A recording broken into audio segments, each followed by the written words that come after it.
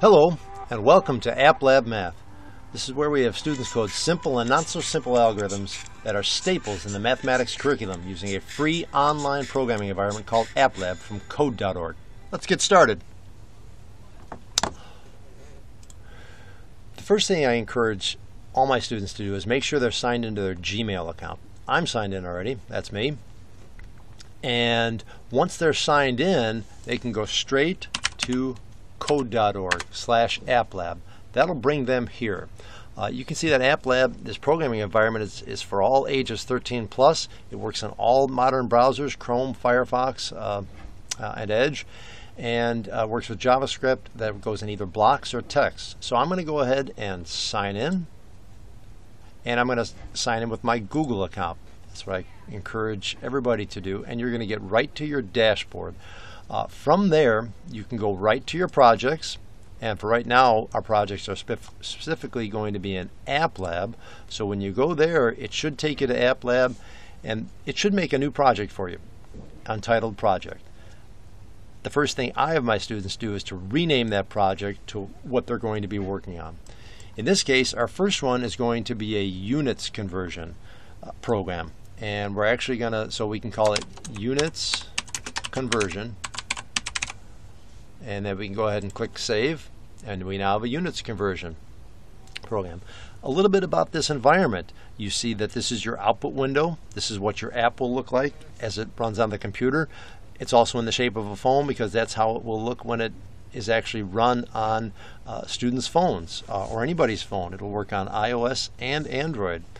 Uh, this is your toolbox. This is where all the uh, code blocks will come from and those code blocks will be dragged right over to your workspace over here. All right, let's go ahead and get started. By default, this starts in the Code tab, but actually, I'd like to start in the Design tab and look at these items in your Design toolbox. The first one we're going to want to take is a text area. We're going to drag that right over to the approximate middle of the screen. You can put it wherever you want it. Uh, this looks something appropriate right now.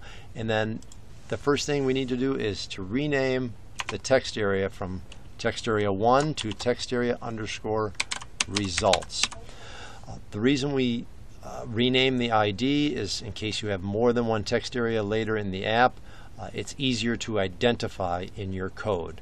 Uh, we're going to leave the text blank for now, and then we're going to bring in a button. I'm going to put a button right down here, right below our text field. I put it off to the side in case we add more buttons later. And instead of calling a button 1, this of course will be, for the ID, button meters to feet. There we go. And then for the button text, we'll change that. This we can use uh, capital meters to feet and then we might need to resize this button just a touch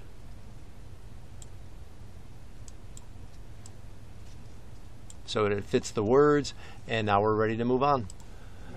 I encourage students not to spend too long in the design phase because there's lots of great code that needs to be written here and that's what we're going to go on to next. So we're going to go now to the code tab and start writing uh, our function that's going to convert meters to feet. So we will start here in the green set of blocks called functions and we're going to drag a my function with the parameter n and the first thing we're going to do is change that name of that function to meters to feet. Notice how there's no spaces in there.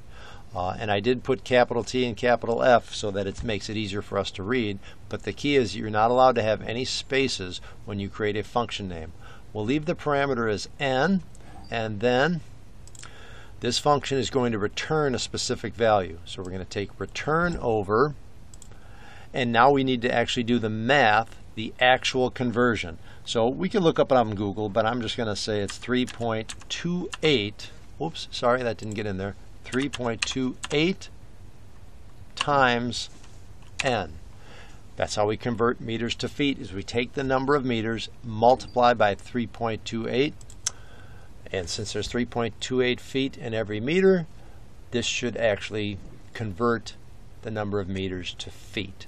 All right, now we need to trigger this computation when the button is clicked. We're going to do that by going to the UI controls and dragging over an on event block.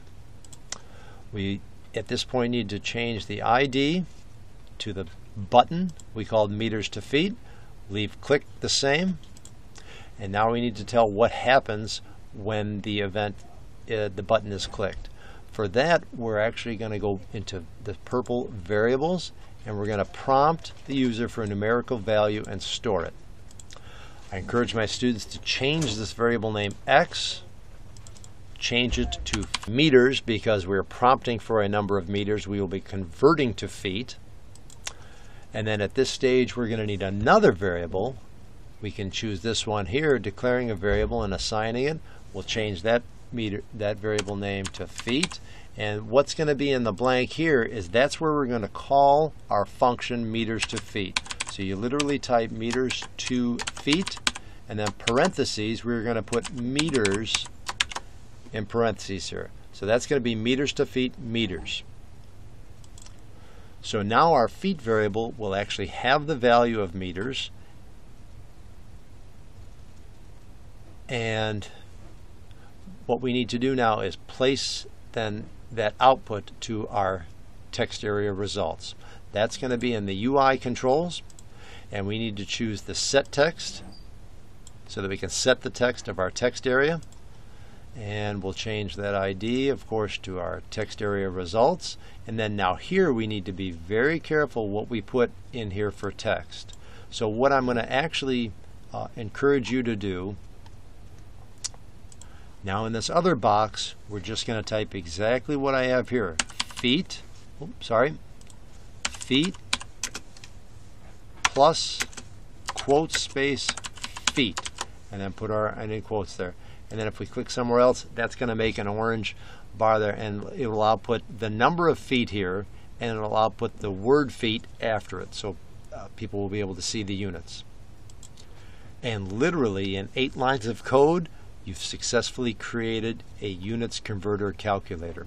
Let's see it run. Over here on the run this is exciting. Go ahead and click meters to feet. You'll get a prompt here to enter a value enter a value like a number of meters, and all of a sudden we see 180.4 feet. That is awesome. Congratulations if you've got that working. Now I know what you're thinking. The first thing the students are going to say is, oh, Mr. Ruth, can we do something about that 0.39999? Computers um, many times are not very good at rounding. So uh, I'm going to give you a couple of quick optional tips here uh, to, go, to go on. Um, to, to show you the rounding and then also to add a quick picture. If you want to round the feet variable, you can choose a variable here and then we're going to choose assigning the variable and then basically we bring assigning the variable over and we're going to change it and we're going to let feet here instead of x and then this is going to be exactly math math dot round that's round parentheses 10 times feet and then we're going to divide that by 10 again. So let's go ahead if we reset this and run it again and try our meters to feet as 55 we get the we get an appropriate 184 180.4 feet. Here's another optional thing that might really allow the, the students to be creative and make their apps a little bit more personal would be to add an image. So that's going to be back in our design tab. This is also totally optional, but you can add an image. Oh, sorry about that.